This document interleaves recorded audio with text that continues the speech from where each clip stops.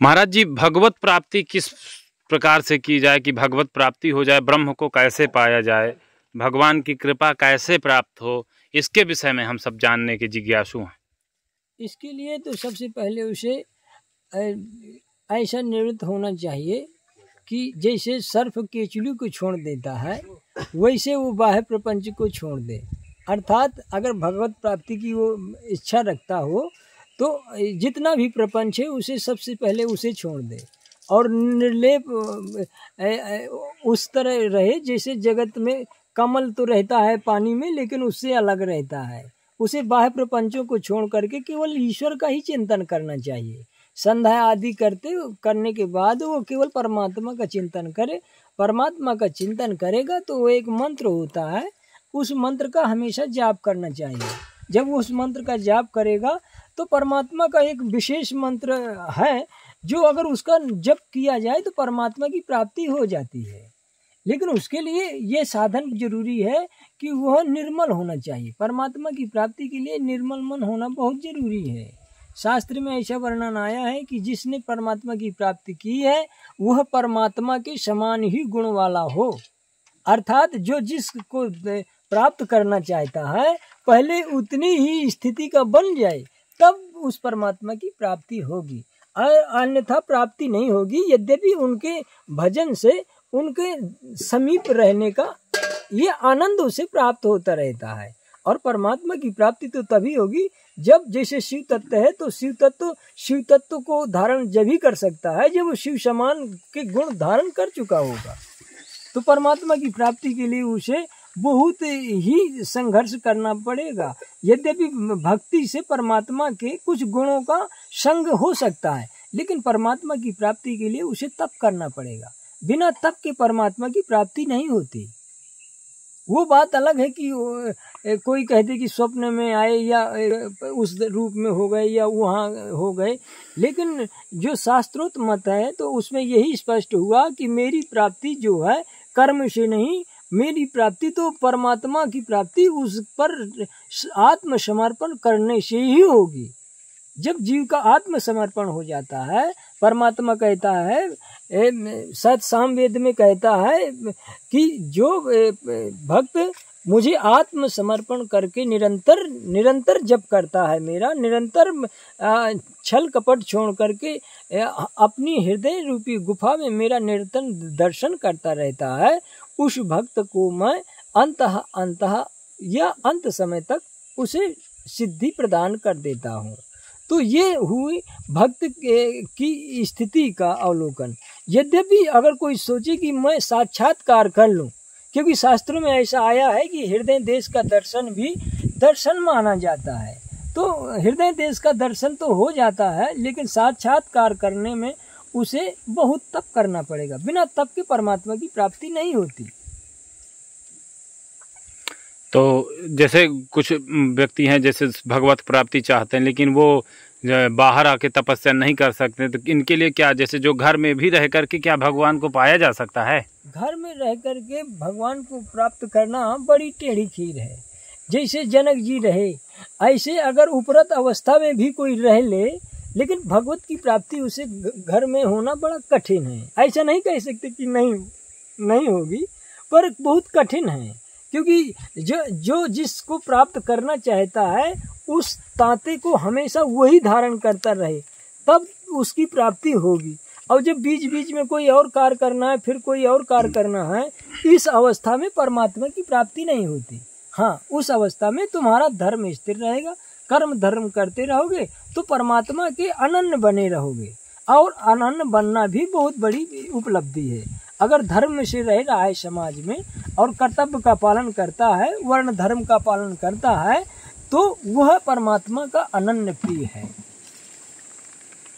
तो इसका तात्पर्य यह हुआ कि घर पर रह करके भगवत प्राप्ति कर पाना बहुत ही नामुमकिन स्थिति में है। बिल्कुल बिल्कुल। तो इसके लिए ऐसा क्या नाम जप या कुछ ऐसा हो जिससे घर पर भी रह करके कुछ ज़्यादा से ज़्यादा सरलता से सरलता से प्रभु की कृपा और सानिधि प्राप्त हो? शंकराचार्य जी बृहदारण्य उपनिषद में कहते हैं यदि घर में कोई रह करके ब्रह्मचर्य अवस्था में रह जाए और निरंतर परमात्मा का चिंतन करे तो उसे अमृत तत्व की प्राप्ति हो जाती है।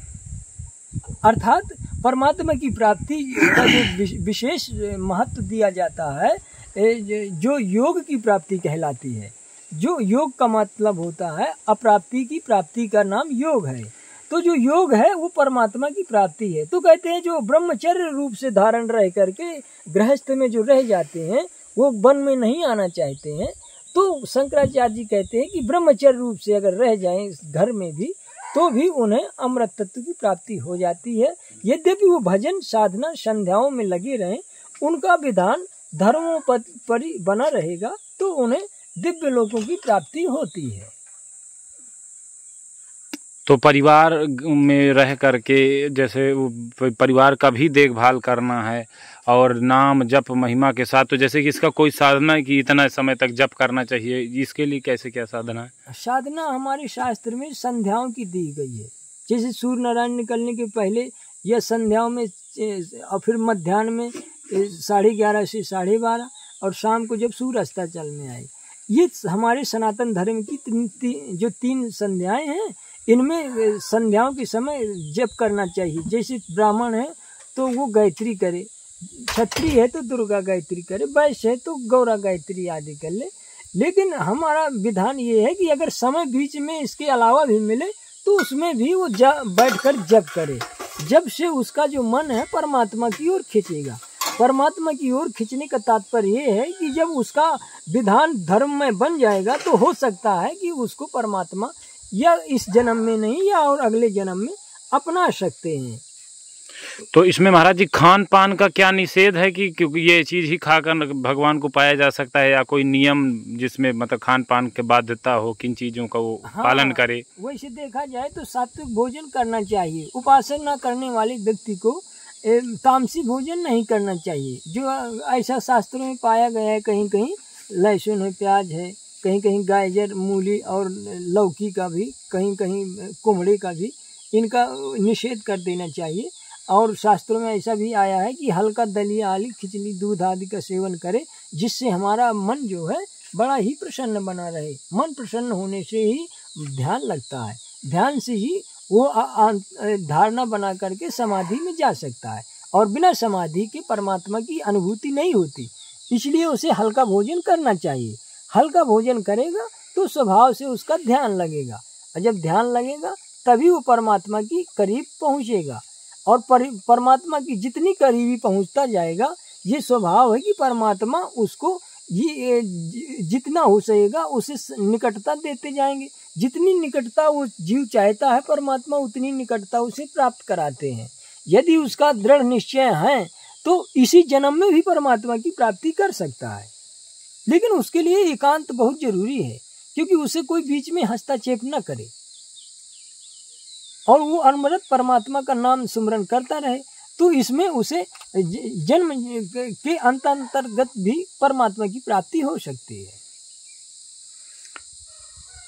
ये तो इसमें खान पान के साथ साथ क्या कपड़ों का भी कोई परिधान या निषेध की, स्थिति है कि या मतलब ना, ना, ना, किसी भी प्रकार से रखा रहा जा सकता? है नहीं नहीं परिधान तो हमारी भारतीय संस्कृति की है ही नहीं है। पुरुषों का धोती कुर्ता स्त्रियों का धोती है ही है। हम्म। यद्यपि परिधान हमारे बुद्धिजीवी लोग अपने हिसाब से कर ही रहे हैं। और ये, ये देखा जाए तो ये विशेषकर मायने रखता है परिवेश।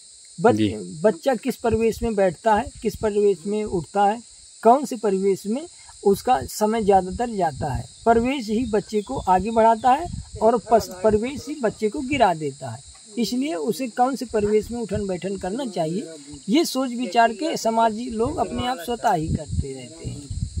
कितना नाम मंत्र जपा जाए नित्य प्रति कि जल्द से जल्द प्रभु की कृपा हो और उनका दर्शन हो? यद्यपि तो शास्त्रों में ऐसा पाया गया है कि नौ करोड़ मंत्र जाप जिस देवता का हो जाएगा वह देवता प्रत्यक्ष हो जाता है। जी। हाँ इसलिए हम तो यही कहेंगे कि अगर किसी को ये हो कि हमें प्रत्यक्ष उस देवता का कृपा पात्रता प्राप्त करनी है तो उस देवता का नौ करोड़ मंत्र जप ले तो उसका कृपा पात्रता प्राप्त हो जाती है। लगभग नौ करोड़ जब कब तक में हो सकता है महाराज जी जी जैसे नित्य प्रति कितना जपा जा सकता है? ये अपने ये अपनी स्वतंत्रता कोई बंधन नहीं है कि इतना जपना चाहिए एक दिन में। वो अपने कितना जप पाता है। ये है कि नौ करोड़ का टारगेट मतलब रहना चाहिए नौ करोड़ जपने का विधान है। जैसे ब्राह्मण है तो हम्म। गायत्री कम से कम तीन हज़ार रोज जपे। जी। तो उसका मोक्ष हो जाता है। जी। अब ऐसे सबका मान लो तीन हज़ार मंत्र कम से कम जपना चाहिए। अच्छा दिन भर में तीन हज़ार मंत्र जाप करना ही चाहिए लगभग। तो नौ करोड़ तक वो पहुँचने में सरलता सा हो जाएगा? ना ना ना वो या अलग है वो? वो तो अलग ही सिस्टम है। नौ करोड़ एक लक्ष्य है अनुष्ठान है। वो अनुष्ठान और ये दैनिक चीज़ में आती है। दैनिक चीज़ है। जी।